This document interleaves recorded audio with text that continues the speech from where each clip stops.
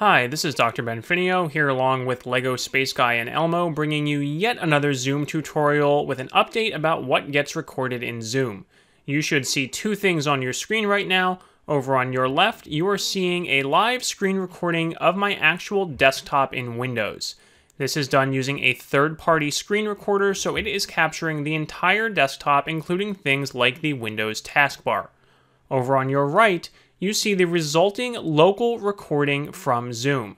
So as I go through this video, you can compare what I see in real time on the left and the resulting recording on the right. I made a video similar to this sometime last year, but Zoom has released a bunch of new features since then, and there are just so many different possible combinations of views in Zoom that it was impossible to cover all of them in that video. So what I'm going to do in this video is just iterate through as many view configurations as I can think of, and then at any point in the video, you can look at that configuration and see the resulting recording over on the right. Two caveats, this is for a local recording, not a cloud recording. So if you're doing a cloud recording, there might be some slight differences. If I have time, I will make another video about that. And I am doing this on a single monitor. So if you have dual monitor mode enabled, that kind of messes up all sorts of recording things. I have a separate video about that linked in the description below this one. All right, let's get started and just start testing what affects the recording. So right now I am in gallery view. One of the new features Zoom released last year is that you can click and drag to rearrange people in gallery view. So for example, let's see what happens if I swap Elmo with Lego Space Guy, and wow, it decided to move me around there too. Okay, so I'm just to kind of move people all over the place here. And then I believe at some point you can go up to View and say Release Video Order, and it'll put everybody back in the automatic order. So let's see if that rearranging affected the recording at all. Next, you can pin and spotlight people.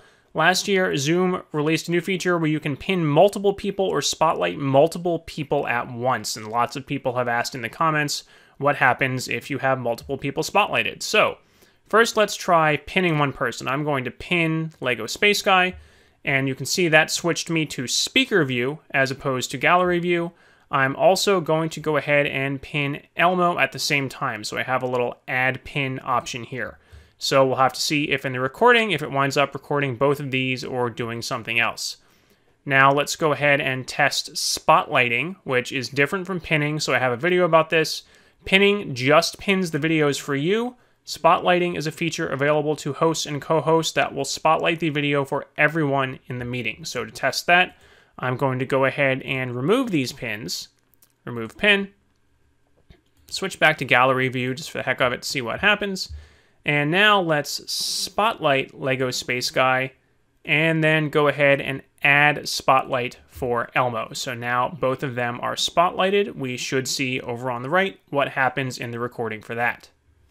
Okay, so let's remove those spotlights. I'm going to right click Elmo, select remove spotlight. And then this is a little annoying. I can't actually right click Lego Space Guy to remove the spotlight. I have to go up here to the remove spotlight button.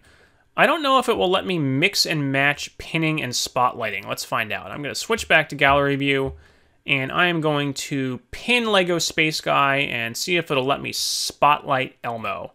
Okay, and then it does give me a prompt that if you spotlight someone, it's going to remove all pinned videos. So now I only have Elmo spotlighted. So I believe I have now iterated through all possible combinations of pinning and spotlighting there. I guess technically I could also do one of these to myself. So I'm going to add spotlight to me. So again, I think that covers a bunch of different combinations of pinning and spotlighting. Let's go back to gallery view here. I'm going to remove all spotlights. Now, next, let's test screen sharing. This is something that comes up very frequently. What happens when you are sharing your screen or somebody else is sharing their screen? What gets recorded? So I'm going to go ahead and click share screen. I have entire videos about this, so I'm not going to go over it in a lot of detail here, but say I'm just going to share my PowerPoint presentation, click share. Now, other people can see my PowerPoint presentation, and you'll notice two things. I have this toolbar that collapses now to make it easier to see what I'm sharing, so I can drag this around the screen. And if you're not using dual monitor mode, you also get this little floating window with up to, I think, four participant thumbnails in it. So this won't show everybody. And you can drag this around, and you can also either minimize this completely or just show one person or click this to expand it and show four people. So Not quite sure how that's going to affect the recording as I move this around or cycle through these. Look at the right side of your screen to see what's happening. Now, people have also asked what happens if you're sharing your screen and pinning or spotlighting somebody. So let's try that. For example, I am going to pin myself. And then if I switch to this single active speaker view here, you should see the person who's pinned here. So for example, if I, what happens if I add pin? So if I switch to, okay, now that I've, it still just shows one person if I go down to this single active speaker view, but if I'm in the multiple thumbnails, it's going to show the two pinned people here. Not sure if it's going to show both of us in the recording or still just show me up here at the top. Let's go ahead and remove those pins and try the same thing with Spotlight. So for example, I am going to spotlight myself for everyone and then go ahead and also spotlight Elmo for everyone. So I've added two people to Spotlight, and I'm going to cycle through the view options here. I'm in where I can see everybody now.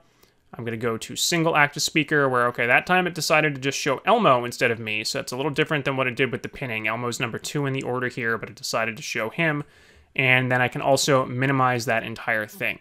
So again, I believe I have cycled through all of the different options there where I am sharing my own screen I've moved this window around. I've toggled through minimizing, active speaker, and everyone, and different options for pinning and spotlighting there. So take a look over on the right as you watch that and see what actually shows up in the recording.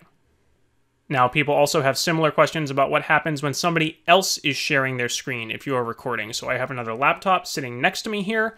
I am going to go ahead and share the screen from that if you give me one second.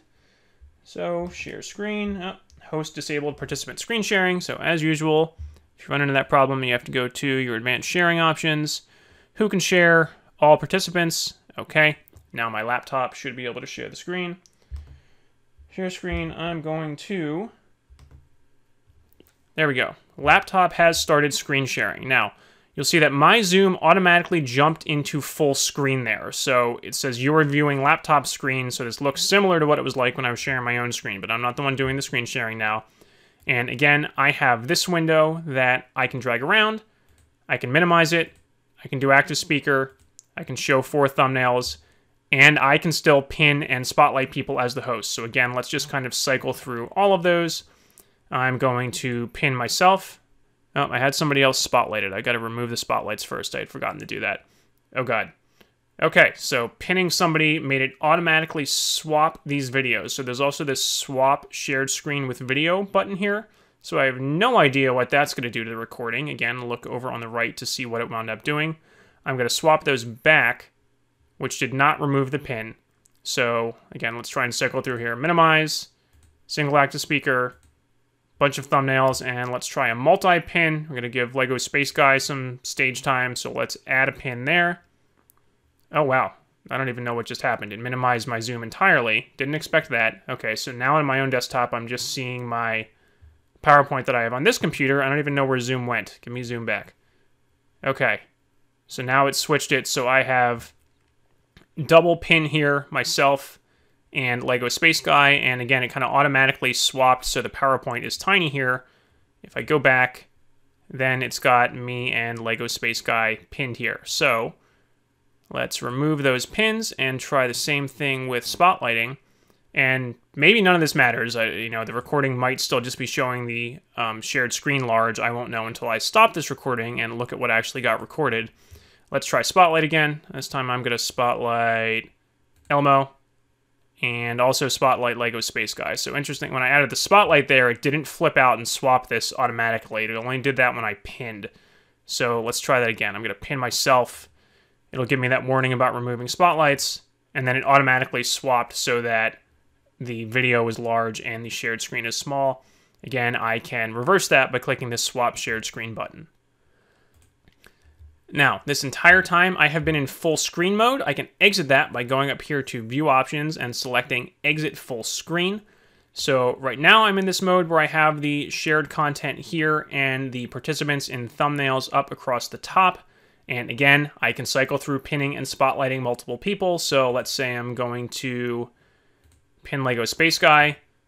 How about remove all pins? Because I've lost track of who I have pinned. Remove all pins. Okay, wow. Now, yeah, now it's possible to get so deep in the different iterations of the views here that this just gets really confusing. So now in, in my live view, I have lost the other people, possibly because I'm in speaker view. I'm in standard side-by-side speakers, side-by-side gallery. Okay, I have no idea where everybody else went. Let's try and get everybody else back. Side-by-side gallery. There we go. But what if I go back to standard view? Okay, now everybody else is back at the top. So I don't know what I did to lose everybody else at the top there, but you can see why people get kind of frustrated with this. Zoom is highly customizable, but once you get kind of lost in manually rearranging the views, it can be hard to get back to what you want. So, again, what we're trying to do now is see what gets recorded when I'm cycling through all that stuff. So we're back to having everybody across the top, shared screen content here. Let's say I try to spotlight Lego Space Guy. So say somebody else is sharing their screen and you want to actually spotlight a different speaker. So spotlight Lego Space Guy. For now, that moved him over here. If I pin Elmo, it's going to remove the spotlights. Okay, and then it does the weird. So pinning just seems to have to have this weird effect where it will automatically rearrange the view for you. But if I remove those, again, I don't get everybody else back across the top here. I have a button over here to switch to shared content, so that will swap these. And oh, and that gets me everybody back at the top. Interesting. Okay, didn't quite expect that. So now, again, here it's calling this standard view, where the thumbnails are across the top and the shared content is large here. You can switch to side-by-side -side views. So you have side-by-side, -side, speaker, and gallery. To the best of my knowledge, this doesn't affect the recording. So in, in when somebody else is sharing their screen, you can go to this side-by-side -side view where you can drag this middle bar to resize things. You can make the shared content really big and the thumbnails really small or vice versa. I don't think this affects the recording at all, but we will have to see what we wind up with. And right now I'm in side-by-side -side speaker. I can also go to side-by-side -side gallery, where now I see everybody over here on the right. And again, you can resize these, but I'm pretty sure this does not affect the recording. And yet again, you can cycle through different iterations of pinning and spotlighting people here. So let's say I'm going to go ahead and pin myself. And now if I go back to gallery and say I want to add also pin Elmo, there it automatically jumps me to speaker view whenever I pin somebody. So we'll have to see in the recording if it winds up showing both me and Elmo or just one of us. But again, I'm pretty sure this resizing does not affect what you actually see in the recording. So I'm going to go ahead and stop screen sharing from the laptop and switch back to my normal gallery view here. Okay, I think I'm back to where I was at the beginning. Nope, remove all pins. Okay, so I think I went through as many possible iterations as I could think of there. We tried rearranging the gallery view, we tried different combinations of pinning and spotlighting, we tried pinning and spotlighting while I was sharing my own screen, then we tried pinning and spotlighting while somebody else was sharing their screen, and I cycled through full screen, standard, and side-by-side -side views. Again, I'm not going to know what all of that looks like until I stop this recording and look at the Zoom recording, but since you're watching this on YouTube, you're going to get them both side by side. You can compare the live recording to the Zoom recording. If there is something I missed or some other combination you would like to see, go ahead and let me know in the comments, and I will try to do another video cycling through some of these combinations.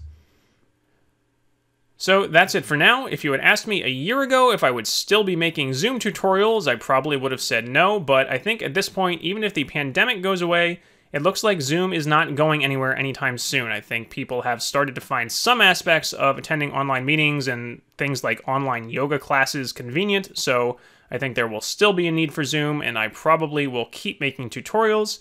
So if you have a question, a comment, or a suggestion for another tutorial, that is where I get most of my ideas for new videos at this point. Please go ahead and leave a comment below this video. I can't promise I will get to everything, but I will do my best to get back to you.